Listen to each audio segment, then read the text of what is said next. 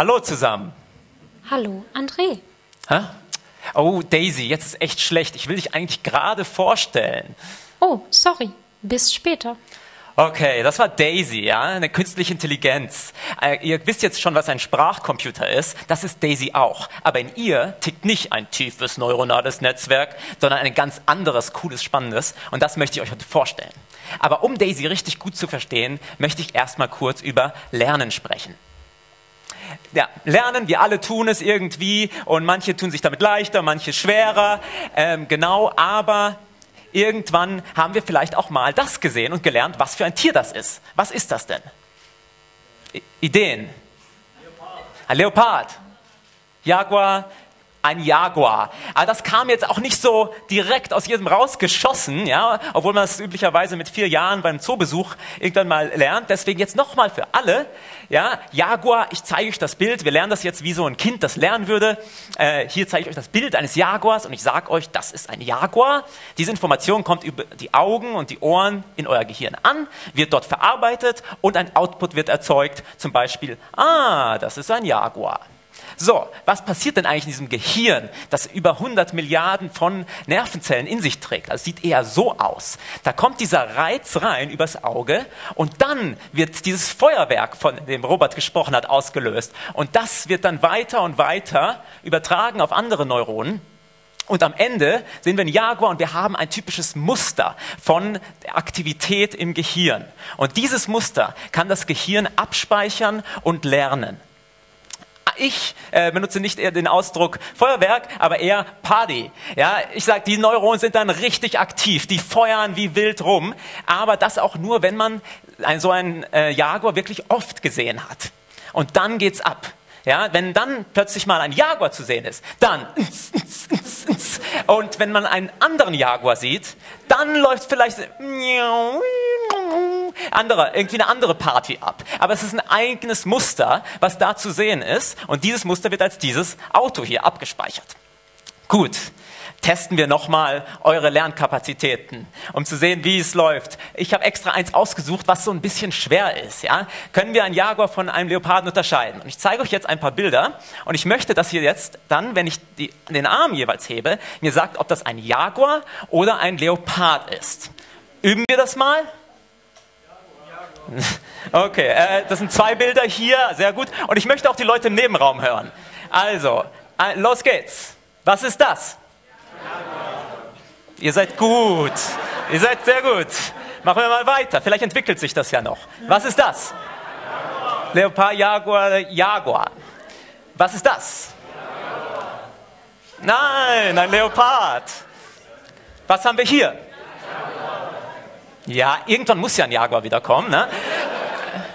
Was ist das?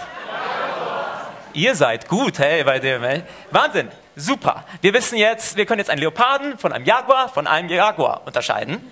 Super, aber wie macht das Daisy mit der Stimme? Wie funktioniert das da? Und jetzt mal habe ich euch was, jetzt spiele ich was vor, so wie Daisy diesen ähm, ein Wort hören würde. Wir hören uns das mal langsam an. Rustikal. Hat jemand das Wort verstanden? Hey, sehr gut. Ich spiele es noch mal ein bisschen schneller. Rustikal. Und jetzt mal als Ganzes. Rustikal. Genau, ja, jemand hat es erkannt. Wer war das?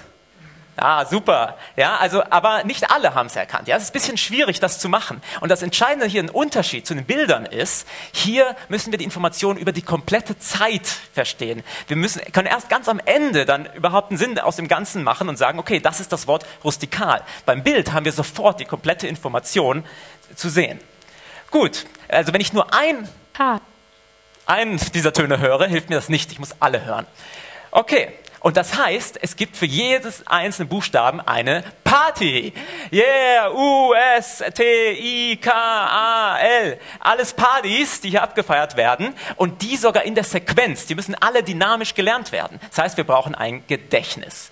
Und da kommt das R ran als Information und wird im Gehirn verarbeitet und dort gespeichert. Dann kommt das nächste, das U. Und dann kommt das nächste dazu. Und so wird unser Gedächtnisspeicher, das Kurzzeitgedächtnis merkt sich die Wörter und äh, diese Töne und am Ende werden sie dann zu einem Sinn vervollständigt. Gut, Wir haben dieses komplizierte Gehirn und bis jetzt tüfteln immer noch ja, Neurowissenschaftler daran, um genau auch die Verbindung zu verstehen von dem, was da drin passiert, von dieser Aktivität und dann diesen Konzepten, die wir am Ende daraus lernen. Deswegen haben wir jetzt gesagt, wir machen das irgendwie, abstrahieren das und machen ein simples Modell raus und nehmen einen Teich. Das ist Daisy. Warum ein Teich? Wenn ich da Sachen reinschmeiße, da wird die Information auch gespeichert. Und wie wird die in diesem Teich gespeichert? Anhand der Wellen, die sich ergeben, kann ich dann kann ich sehen, wo ich was reingeschmissen habe, wie schwer es ungefähr war und wie schnell ich es reingeschmissen habe. Die Information wird hier auch gespeichert und sie breitet sich hier auch aus. So wie vorhin, wenn ihr euch erinnert, das Signal im Gehirn sich ausgebreitet hat. Gut, und was schmeiße ich so in einen, äh, in einen Teich am besten rein? was da so als Input, jetzt, ich kann auch mit dem Teich reden, ich kann laut pusten, äh, aber da, das wird auch nicht so viel tun im Teich. Was schmeiße ich da eher rein? Ein Stein. Ja, immer gut, wenn es um Wissenschaft und Forschung geht, aber in diesem Fall tatsächlich ein Stein. Und, und, den, und dann der Stein und der Teich sind zusammen ja, das etwas feuchte neuronale Netzwerk, wie ich das gerne nenne. Ich bin dynamisch. Ja, das bist du, Daisy. Du bist dynamisch, denn bei dir benutzen wir nicht nur einen Stein, sondern mehrere Steine. Ja, und diese Steine stehen jetzt hier für die ganzen Buchstaben, also eigentlich für die Laute, für das Wort rustikal, und die schmeißen wir dann rein in diesen Teich. Und hoffentlich sehen wir da so gut aus wie die zwei Damen, das sind aber Vollprofis. Das sind Bilder hier von der zweiten Steinwerf-WM in Wabs, die ich online gefunden habe, tatsächlich.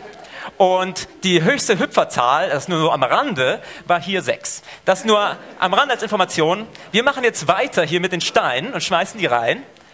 Und wie schaut das dann aus? Also wir haben da diesen Teich, der ist allzeit bereit, wie das Gehirn, für neue Reize und Input. Und dann, ah, da ist schon irgendwas reingefallen, das war, glaube ich, ein Blatt. Ah, da ist ein Stein und dann kommt der nächste Stein. Die Wellen bilden sich. Ihr seht, die Wellen auch von dem zweiten und vom dritten Stein interagieren zusammen mit der Wellen von davor. Das heißt, alle Information ist da drin immer noch enthalten. Das ist das Gedächtnis von dem Teich. Aber weil es so schnell war, machen wir super Replay. Hier ist das R, wird reingeschmissen und dann treibt es nach außen hin. Da kommt das U dazu und ihr seht, die Wellen sind alle noch da und das S auch.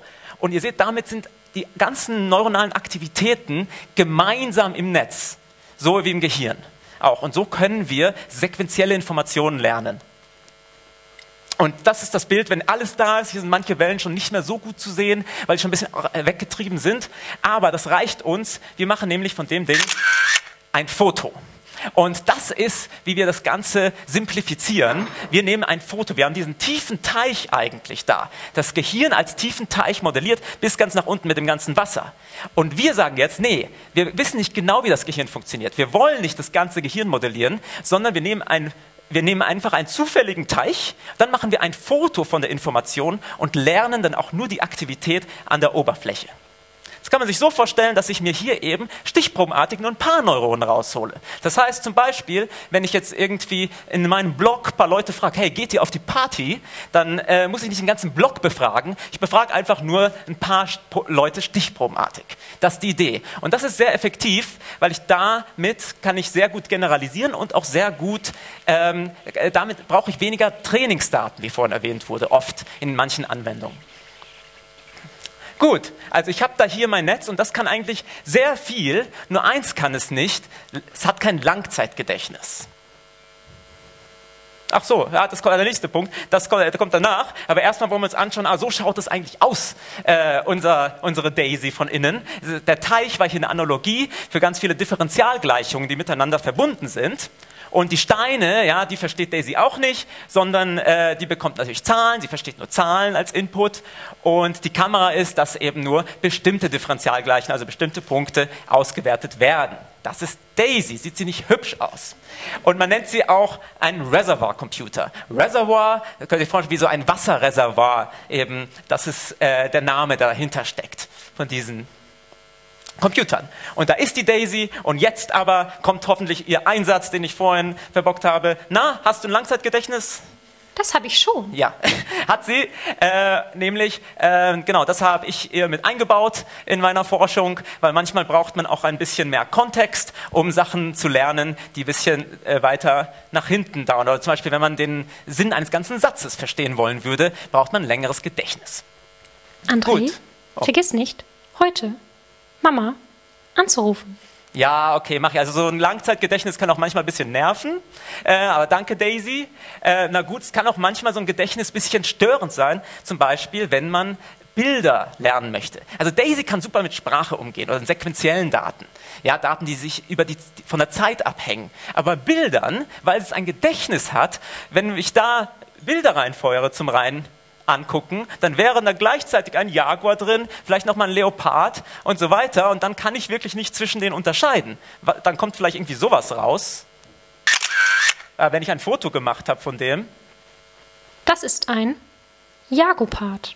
Ja, dann kommt irgendein Schwachsinn raus, weil sie die Information von den mehreren Bildern zusammennimmt, so wie bei Sprache, wenn sie einzelne Töne zusammennimmt. Dankeschön die Musikeinlage. Und jetzt möchte ich noch kurz am Ende auflösen, weil ihr denkt euch, wie kann man denn diese Biester eigentlich voneinander unterscheiden? Ja? Und da habe ich dann auch mal online nachgeguckt, weil ich auch keinen blassen Schimmer hatte. Und habe gefunden, okay, die einen sind so ein bisschen schwerer und haben einen größeren Kiefer und die anderen sind ein bisschen leichter. Und dann habe ich noch was Interessantes, ich glaube in der National Geographic oder so gesehen. Die einen sind arrogant und die anderen heimtückisch super. Das hilft genial zur Unterscheidung. Ja? Das jedenfalls so viel dazu. Vielen Dank. Und jetzt wisst ihr auch, warum ich am ersten Bild so am Teich rumsaß. Und das mache ich jetzt auch mal weiter. Danke. Tschüss. André Kovac.